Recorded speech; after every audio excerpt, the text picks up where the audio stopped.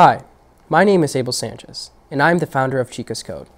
We are a nonprofit organization that teaches computer science to students from underprivileged communities. I'm the creator and the teacher of this course and the man behind the action. I was selected from the top students in high school to work at Broad Institute where I did cancer research. With my credentials from Broad, I was selected to teach a course in computer programming at Microsoft for visually impaired students. Using all I have learned, I was invited through MISTI to run a computer programming course for Hispanic women in Mexico.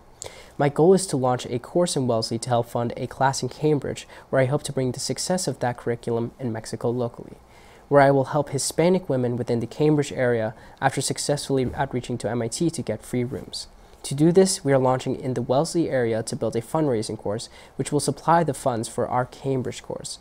Through the success of our Cambridge course, we hope to launch this program nationally, with 1,000 students on standby in Mexico. We want to use the funds from the fundraising course to help launch internationally.